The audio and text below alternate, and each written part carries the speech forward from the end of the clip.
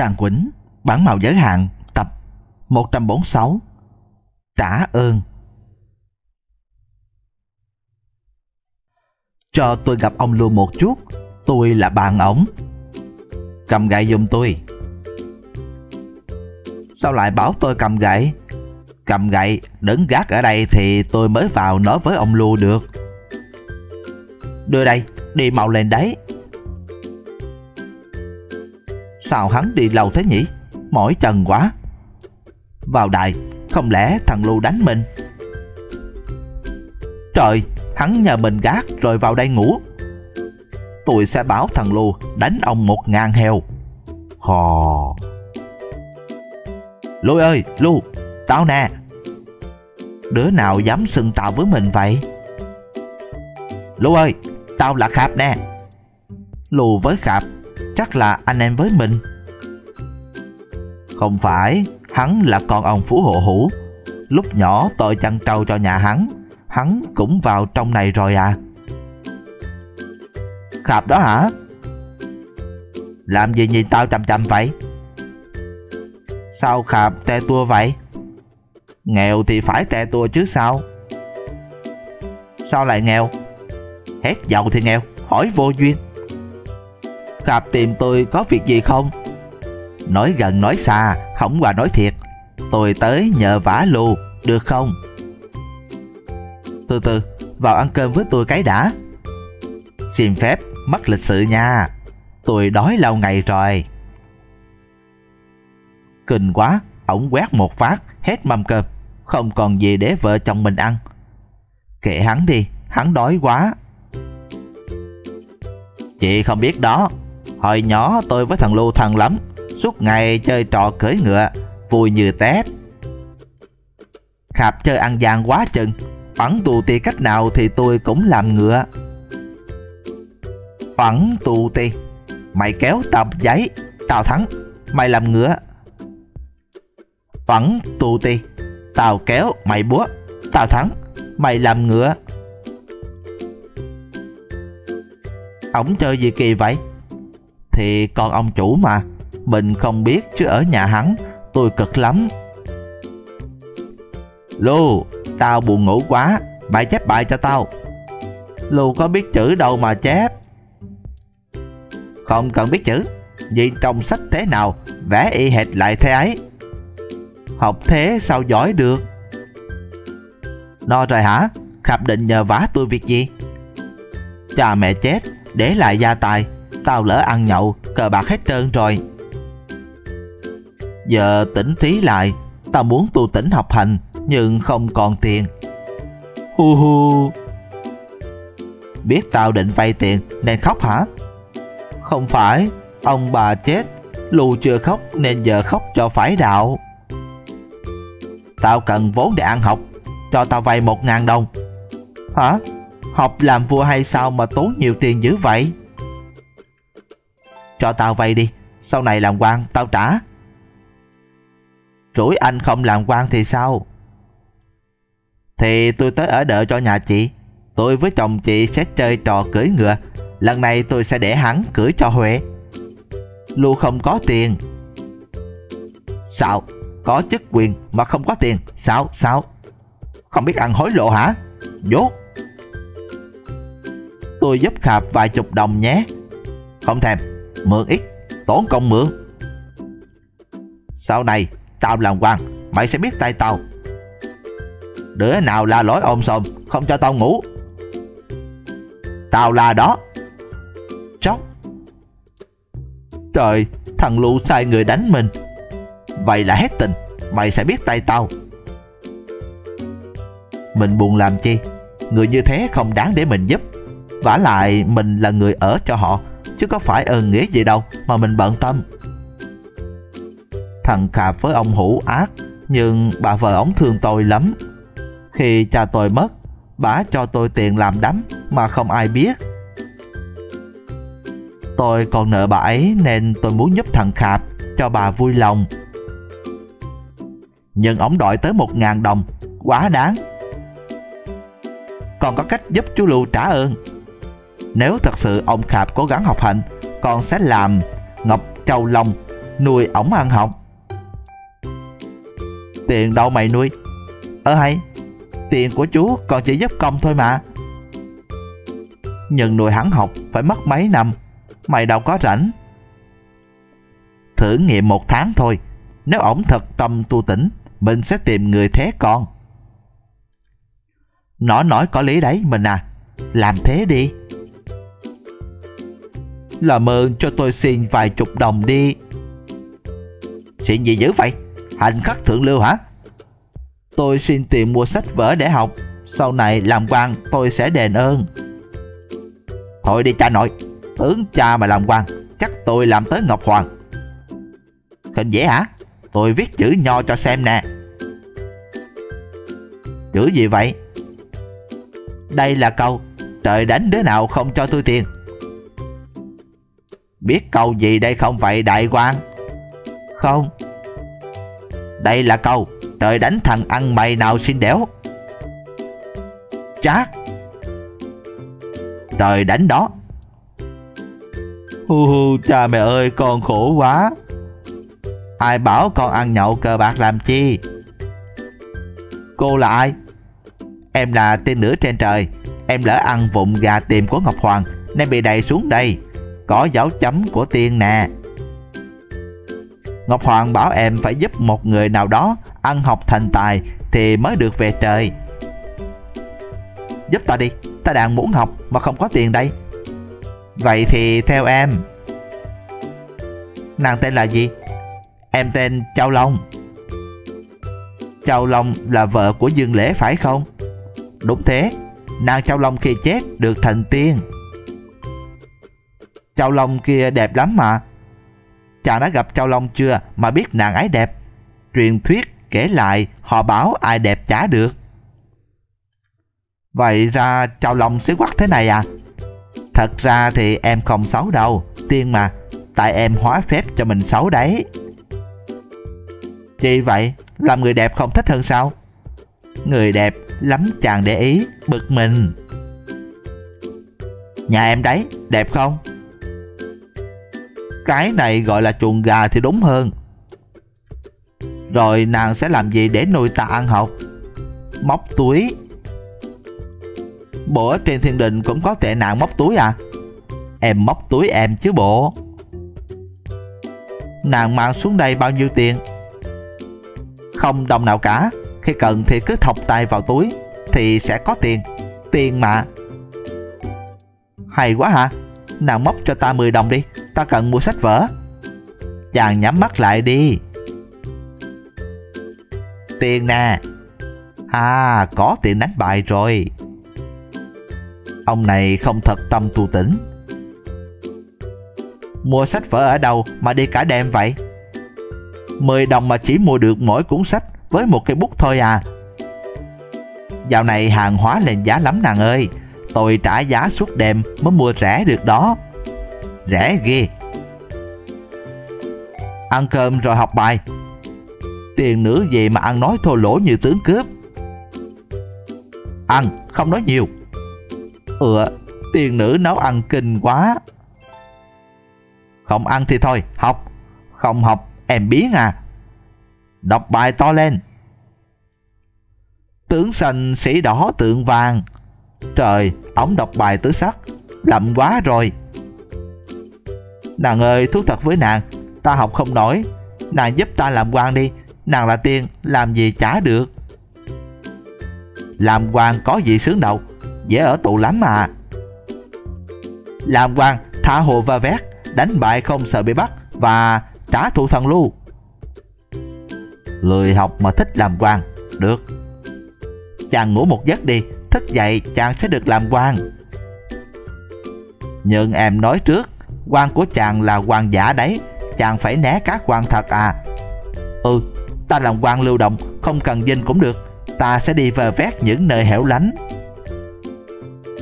Ông khạp không tu tỉnh học hành, chỉ thích làm chuyện bậy để có tiền. Ta sẽ làm thế này. Kết quả là, hoặc ổng sẽ hội tâm, hoặc sẽ biến mất cho rảnh nợ chúa bảo toán tù đình mặc đồ lính vào rồi theo con. Ủa, lính ở đâu đông vậy? Lính của chàng đó, Bây giờ chàng là quan rồi, Mặc áo vào, Chải tóc lại đi. Ha ha, Như mơ. Qua một đêm, Ta thành quan mà không cần học hành gì cả. Lũ ơi, Mày sẽ biết tay tao. Khập ơi, Ráp xong. Ờ mày là quan à? Ta là quan chìm Trả hình đi điều tra bọn cờ bạc, Nên phải đánh bạc với các người. Hoàng ơi, tôi ăn của Hoàng bao nhiêu tiền? Tôi trả lại nè, Tha cho tôi nhé. Thấy chưa à? Làm quan kiếm tiền dễ ẹt. Lý trưởng lưu đâu? Ra đón quan Mời quan vào. Mới có mấy ngày mà khạp làm quan rồi, Mau thế. Ta là quan chìm làm quan lâu rồi chứ không phải mới đây. Ta giả nghèo để thử người. Ngươi là kẻ vô ơn. Nộp cho ta một ngàn đồng. Nếu không ta cách chức người vì tội vô đạo đức. Tôi không có tiền. Lính, Đánh hắn một trăm hèo, Xem hắn có lòi tiền ra hay không. Quan huyện tới. Có cái tủ nào to to không? Chi vậy? Cho ta trốn lẹ đi. Bảo đám lính của ta cũng trốn mau đi. Quan sao lại sợ quan quan giả phải sợ quan thật chứ sao? Vậy ra ông là quan giả. Không phải quan giả, mà là không phải quan thật. Người đâu? Khiến cái tủ lên nộp cho quan huyện lưu ơi, tao lại mày mày tha cho tao đi. Khiêng đi.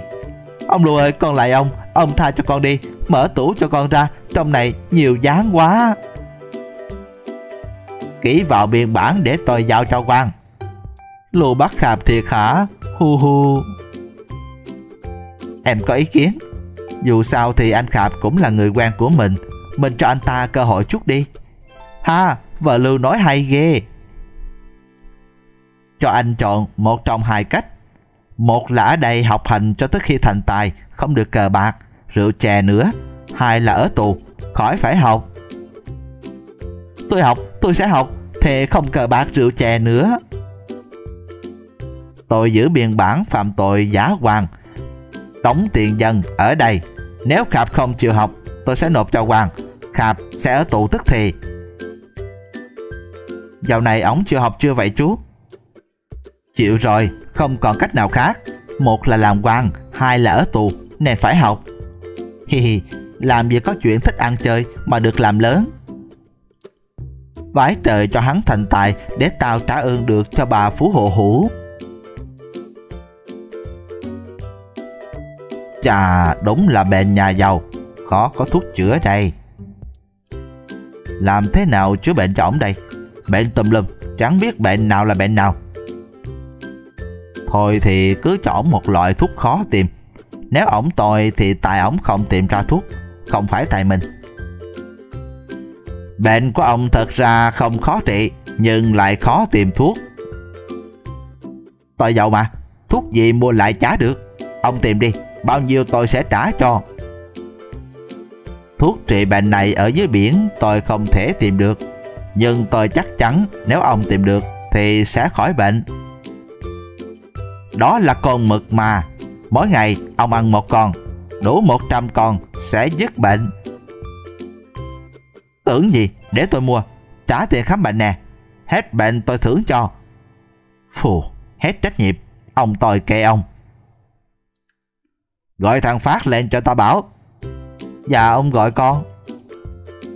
Giao cho mày chiếc ghe. Mỗi ngày mày ra biển, Bắt cho tao một con mực ma Ông ơi mực mà đâu phải dễ tìm, Mà ngày nào cũng có.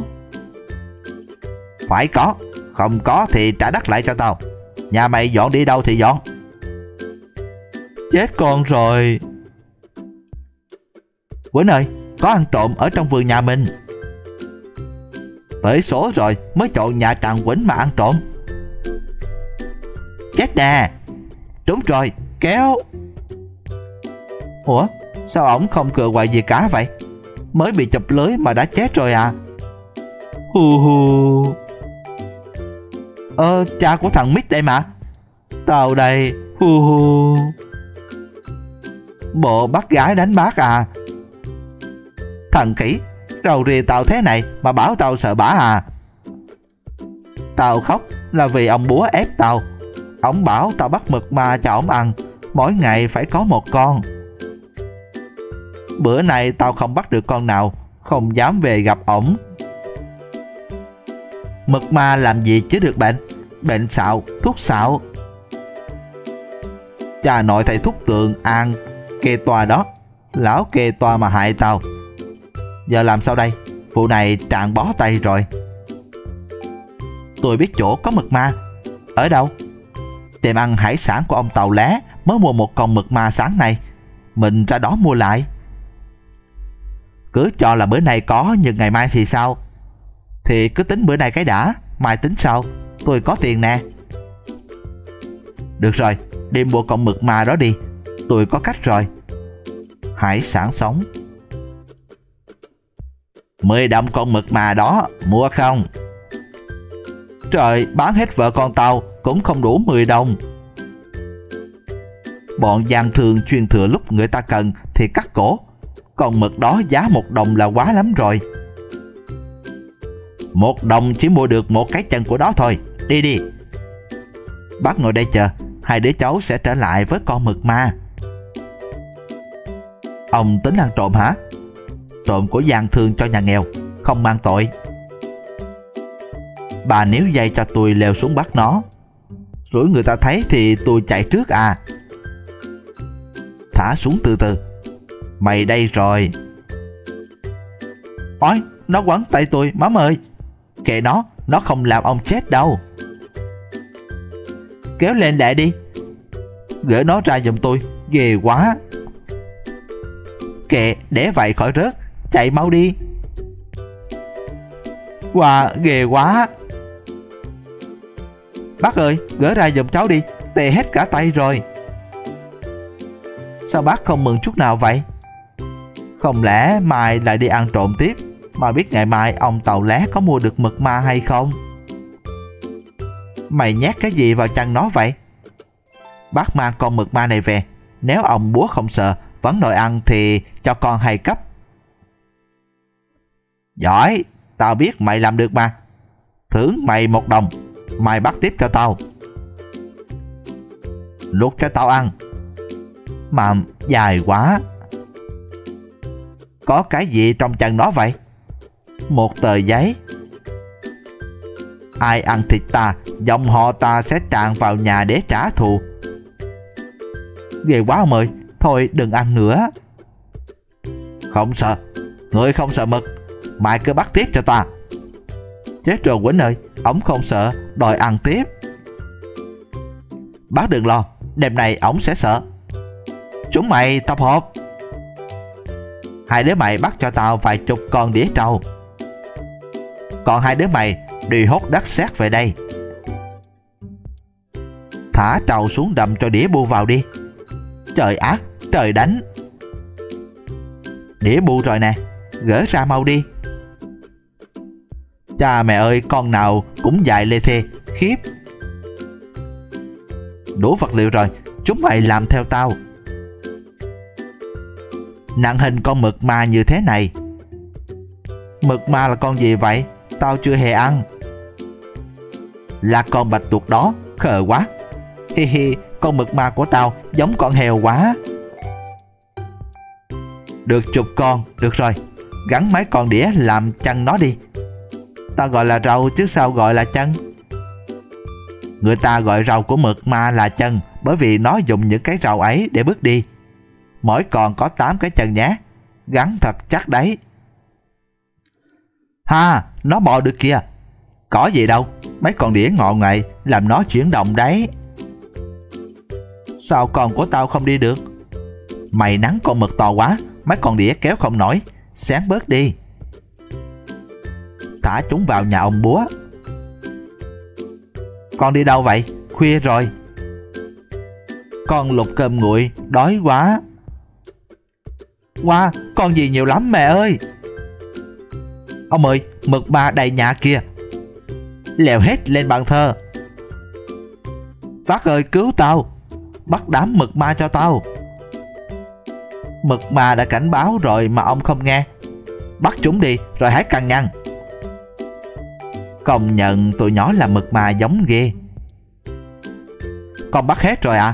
Cả thảy 10 con Ông sẽ có ăn trong 10 ngày. Dẹp dẹp, Vứt hết đi. Tao không ăn mực ma nữa. Ngày mai con có phải thì bắt. Tao bảo dẹp rồi mà. Mày bắt mày ăn đi. Vậy còn bệnh của ông? Tao tìm thầy khác chữa. Về đi. Đi xem người Nhật biểu diễn can đảm kìa. Can đảm mà biểu diễn à? Người Nhật chúng tôi nổi tiếng can đảm, gan dạ nhất thế giới. Tôi sẽ biểu diễn cho bà con xem. Đây là kiếm Nhật, nổi tiếng bén nhất thế giới. Bén bằng dao mổ heo của cha tôi không? Rạch, Ái.